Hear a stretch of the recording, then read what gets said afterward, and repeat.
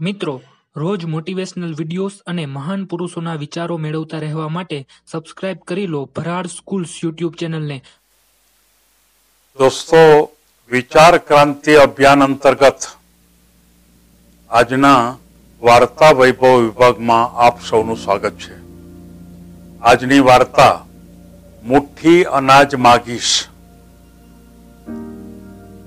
દોસ્તો, બુદ્ધ ભગવાન સતત રીતે માર્ગદર્શન આપવા માટે, આધ્યાત્મિક ભૂમિકા પરનું માર્ગદર્શન આપવા માટે દેશાટન કરતા હતા.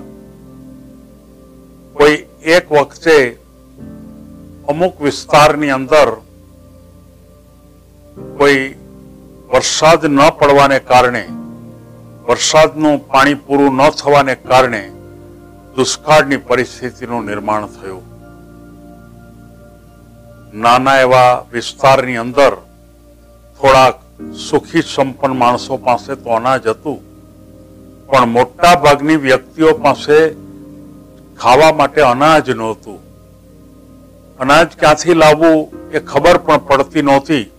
એ વખતે કોઈ ટ્રાન્સપોર્ટ કે એવી પ્રકારની વ્યવસ્થા નહોતી કે દૂર દૂરથી પણ અનાજ મંગાવી અને આ વિસ્તારને અનાજ પહોંચાડી શકાય. બુદ્ધ ભગવાન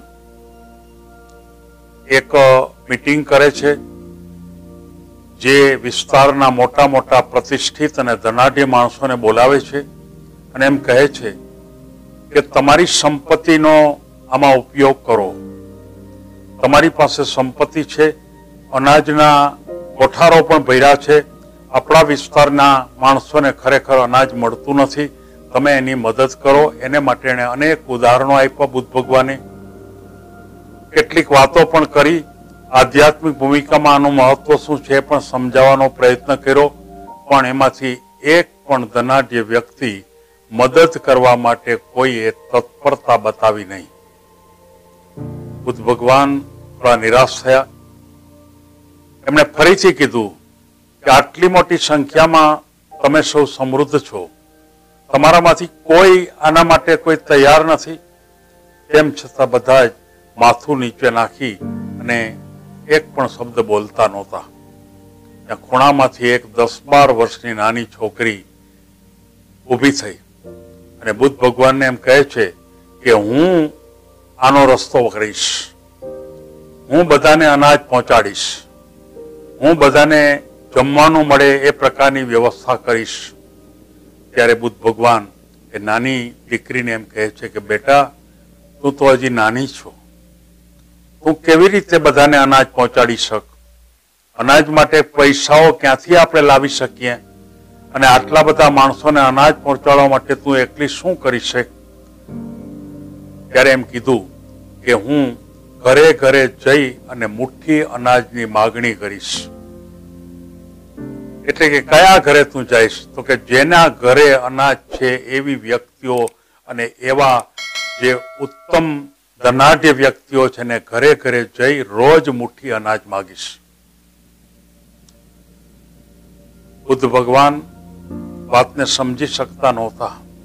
એને એમ થયું કે આ દીકરી લાગણીમાં આવીને વાત કરે છે, પણ આ કામ નાનું નથી. પણ દીકરીને નિરાશ ન કરવા માટે બુદ્ધ ભગવાન એમ કે છે કે કઈ વાંધો નહીં દીક, બેટા, પ્રયત્ન કર. જો આ વિસ્તારના માણસોનું પુણ્ય હશે તો એને કંઈક ને કંઈક રસ્તો નીકળશે. એ દીકરીએ બીજે દિવસથી અનાજ માગવાનું શરૂ કર્યું. ઘરે જઈને એમ કે મુઠ્ઠી અનાજ આપો. એક મુઠ્ઠી અનાજ આપો. એક મુઠ્ઠી અનાજથી તમારા ઘરમાં કંઈ ફેર નહીં પડે. અને એમ ફરવા માટેની શરૂઆત કરી. આસપાસના થોડા દૂરના વિસ્તારમાં પણ એને જવા માટેની શરૂઆત કરી. આ જોઈ અને એના જેવડા કેટલાય છોકરાઓ ભેગા થઈ અને બધાએ એમ નક્કી કર્યું કે આપણે પણ આ દીકરીને મદદ કરીએ. આ આપણી જે બેન છે એને મદદ કરીએ અને આવા સો છોકરાઓ ભેગા થયા અને સો છોકરાઓ પણ મુઠ્ઠી અનાજ માટે એ ઘરે ઘરે ઘરે ફરવા માંડ્યા. થોડા સમય થયો તો એની અંદર બસો છોકરાઓ થયા. બધા જ માત્ર દસ બાર વર્ષની ઉંમરના. અને એ બધા મુઠ્ઠી અનાજ માગવા માટે ઘરે ઘરે રોજ જાય અને શક્ય ત્યાં સુધી જેઓને ખરેખર અનાજ નહોતું, એને થોડુંક અનાજ સુધી પહોંચાડવા માટેના પ્રયત્નમાં સફળ થયા. આટલી વાત થઈ એટલે ગામના જે પ્રતિષ્ઠિત અને ધનવાન માણસો હતા, એને પણ એમ થયું કે જો આ બધા જ નાના નાના જે દસ બાર વર્ષના છોકરાઓ જો આ પ્રકારે કામ કરતા હોય તો આપણી પાસે સંપત્તિ છે, અનાજ છે, તો આપણે પણ આપવું જોઈએ. એટલે એ બધાએ પણ થોડા થોડા અનાજ આપવાની શરૂઆત કરી. આમ કરતા કરતા કરતા નાના નાની મિશનનો સરવાળો આખરે એક મોટું મિશન બન્યું. નાના નાના બાળકો આ અનાજને ભેગું કરતા કરતા કરતા અનાજનો મોટો જથ્થો ભેગો થવા માંડ્યો અને આખરે એક એવી પરિસ્થિતિનું નિર્માણ થયું કે થોડું થોડું અનાજ જેને કંઈ નહોતું મળતું એને મળતું થઈ ગયું અને જે પ્રશ્ન, જે સમસ્યા ખૂબ મોટી હતી એને થોડીક નાની બનાવવા માટેનો પ્રયત્ન થયો. બુદ્ધ ભગવાન પછી વાત કરે છે કે આ દુનિયાની અંદર બહુ મોટી વ્યક્તિઓ, શક્તિશાળી વ્યક્તિઓ, ધનાઢ્ય વ્યક્તિઓ નથી કરી શકતી એ ક્યારેક ક્યારેક નાના બાળકો એક નાના મિશનથી કદાચ મોટા મિશન સુધી પહોંચવા માટેના પ્રયત્નો કરી શકે છે. આ વાત ઉપરથી એટલું ચોક્કસ છે કે કોઈ પણ વખતે, કોઈ પણ પરિસ્થિતિની અંદર જો નાના બાળકોની આખી ટીમ અને એ બધા જ જો એક કાર્યમાં જો જોડાઈ જાય અને બધા જ જો એક કાર્યને કરવા માટે જો પ્રયત્નમાં લાગી પડે, તો સાચા અર્થની અંદર, એ મિશનની અંદર ક્રાંતિ આવી શકે એમાં કોઈ શંકા જ નથી. ઘણીવાર આપણે જોયું છે કે ક્યારેક ક્યારેક તીડના ટોળાઓ આવે છે.